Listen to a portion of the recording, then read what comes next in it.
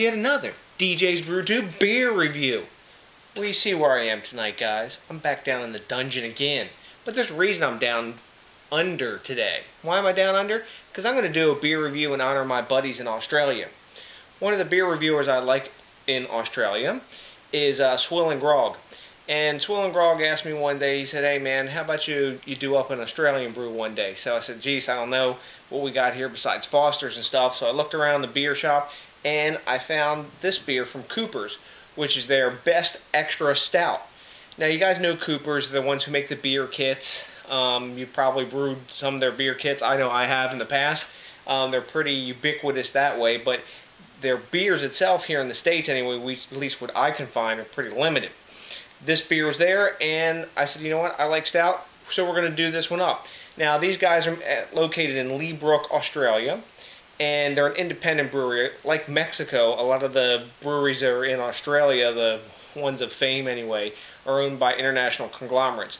Now, there's a subculture sort of of uh, craft brewers down there that, that's growing and and you know prospering, which is really cool. But a lot of the breweries there are owned by big conglomerates, you know, SABMiller and those kind of guys.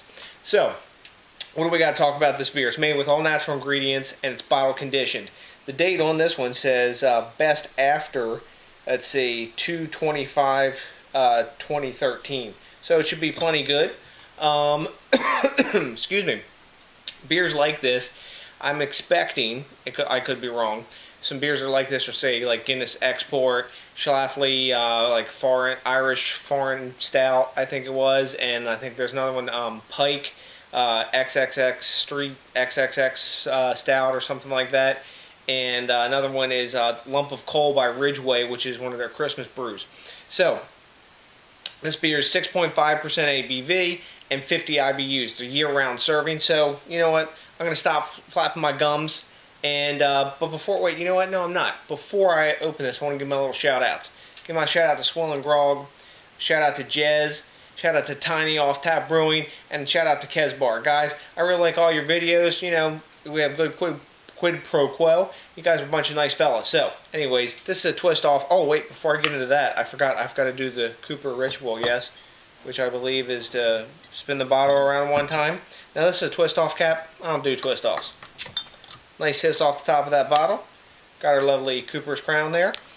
Lots of smoke coming off that one. Let's get this in the Nonic here and see what we got going on, guys. Ooh, that's a pretty dark beer. Let's give this a nice pour. See what kind of head we can get on this bad boy. Alright. Okay. Ooh, look at that. Nice cascading head coming up from the bottom. Super dark, chocolatey looking head on that. Really dark beer when I hold it up to the light. No lights coming through this bad boy.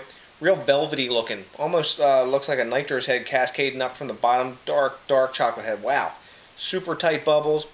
When I swirl it, uh, not getting really any alcohol legs to speak of, but I suspect we will get some pretty good glass lacing on this. So, let's get a nose on this bad boy, see what we got going on. Mmm, chocolate, caramel, dark fruits coffee. And the chocolate I'm getting sort of milk chocolate and a little bit of dark chocolate, but more to the milky side. Man, nice smelling beer. It's got that foreign extra stout. By the way, I have let this warm up to proper temperature. It feels like it's about, mm, I'd say like 52 degrees right now. That's about where I like to drink them. At least this style stout anyway. Let's get a taste on this bad boy, see what we got going down.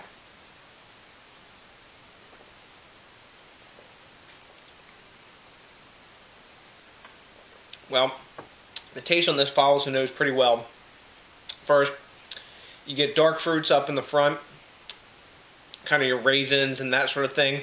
A bit of caramel and chocolate, and then the aftertaste is a really strong, pronounced coffee taste.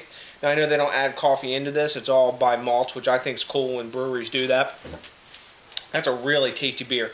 It's got a very pronounced black coffee aftertaste, which I like because I'm a black coffee drinker. I, I have some milk from time to time as well, but I do drink black black coffee fairly often. And that's a that's a really tasty brew. It's well put together. Um, the only part that's letting it down a little bit, I think, is the uh, mouthfeel in this beer. It's a little thin. Let me give another taste here. The mouthfeel is a little thin. It could be a little bit heavier. The uh, Schlafly that I had and the Guinness Foreign Export, they have a bit more body to them than this beer. It's not a horrible thing. It's very drinkable, and you could you could really session on this bad boy. I mean, it's 6.3% ABV. It's not super strong. That's a session beer, really, but um, really tasty brew that I and that I think um, it's it's worth drinking, and it's worth drinking again. Um, I don't know if I'll do because I got so many damn beers in line, but it, it is a really good brew. So, what do the other guys think about it? Um, Beer is given a 93, and Beer Advocate's given an 87. Um, I'm going to go 88 on this. I think it's a strong B plus beer. Um, it's got the date on the bottle and all that stuff, but the mouthfeel and the real big dominance of the coffee flavor kind of like throw it off and sort of make it like one note in some ways. But um, at that said, it is a really good beer, and man, this one would be kind of cool if you put it on some oak chips or something, or you know, did something crazy with that if you got the kit for this. So it's a it's a good representator uh, representator representation of the style, and it's a decent brew. So till the next time, guys, we got to talk about something important. We got to talk about thinking globally. We got to talk about drinking locally. We got to talk about supporting the craft beer movement and helping this thing grow and just get bigger. And watch my guys that I gave the shout outs to, Swollen Grog, Jez, Off Tap Brewing, Kesbar. I'll put their information down here in the notes section. Really cool Australian guys, and they give you a different perspective on beer from their part of the world. And that's one of the cool things about this, I think, that YouTube and the opportunity we have to put videos out and everything make the world small and get you acquaintances and friends with people that you have no other chance of meeting under any other circumstances. So I appreciate each and every one of you guys. Thanks a million for watching. Remember to think globally, drink locally, support this craft beer movement, keep it growing. Buy some Cooper's kits, help them keep growing, help them stay independent.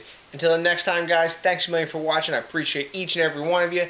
Rate, comment, subscribe, etc. Until then, that's a big damn down under peace out.